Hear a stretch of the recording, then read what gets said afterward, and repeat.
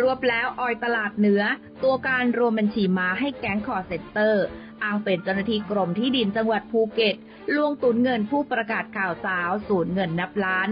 ล่าสุดพลตำรวจตรีธีระเดชธรรมสุธีหัวหน้าชุดปฏิบัติการ PCT เปิดเผยถึงกรณีแอปกรมที่ดินต้มตุ๋นให้เหยื่อ โหลดแอปพลิเคชัน Smart Land โดยพฤติการณ์ก็คือเป็นแอบอ้าง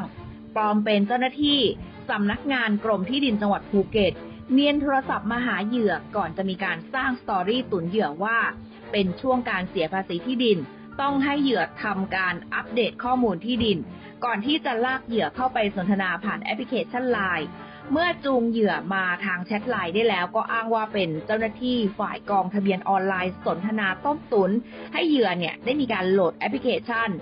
โดยมันจะเข้ามาควบคุมระบบมือถือระบบ Android โดยเหยื่อไม่สามารถทำอะไรกับมือถือได้เลย หรือที่เหยื่อเข้าใจกันว่ามือถือค้าง หลังจากนั้นเงินทั้งหมดในบัญชีจากทุกแอปธนาคารในโทรศัพท์ของเหยื่อ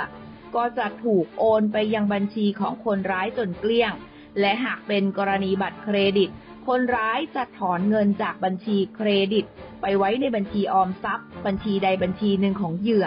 แล้วจึงค่อยโอนออกไปยังบัญชีของคนร้าย และที่เป็นเอกลักษณ์เฉพาะของแก๊งนี้ ก็คือจะโอนดูดเงินออกไปจำนวนครั้งละ 49,999 บาทหลายครั้ง เช่นเดียวกับเหตุการณ์ล่าสุดที่ผู้ประกาศข่าวชื่อดังรายหนึ่ง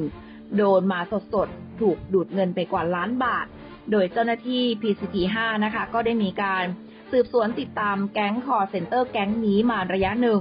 กระทั่งทราบว่าหนึ่งในขบวนการรายสำคัญของแก๊งนี้ แฝงอยู่ในพื้นที่จังหวัดภูเก็ตทำหน้าที่คอยจัดหาบัญชี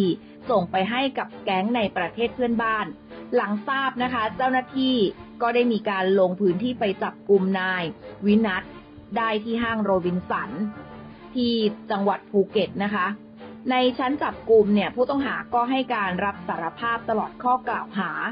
โดยให้การว่าตนเองต้องดิ้นรนหาเงิน มาเพื่อจุนเจือครอบครัว จึงหลงผิดไปขายบัญชีให้กับแก๊งคอลเซ็นเตอร์ โดยตอนแรกนั้นก็ไม่ทราบว่าเป็นแก๊งคอลเซ็นเตอร์ แต่เพิ่งมาทราบภายหลังว่าเป็นแก๊งคอลเซ็นเตอร์แอปกรมที่ดินที่กำลังเป็นข่าว จะให้ความร่วมมือกับเจ้าหน้าที่เพื่อบอกข้อมูลของแก๊งนี้ ที่ติดต่อกับตนเองโดยละเอียด และเชื่อว่าเบาะแสของตน จะทำให้เจ้าหน้าที่สามารถ ตามไปต่อได้อย่างแน่นอน